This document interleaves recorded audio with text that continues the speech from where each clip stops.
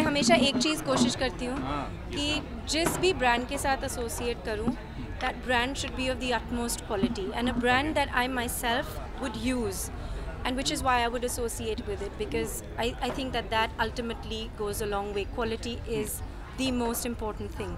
Um, which is why I was very happy to be associated with a brand like this. They're a brand that is renowned for their quality, for their hair products, and um, I'm very happy to be here today. And I'm very happy to have been styled like this. Like I said, a lot of people go into making you look that way, but I also enjoy walking the ramp, and I feel very lucky as an actor that I get to do that. I'm rather petite, but I get to walk the ramp, uh, and it's a lot of fun because it's like playing a part for me. I it's like being a character and playing a part and there's a lot of drama and I really enjoy it.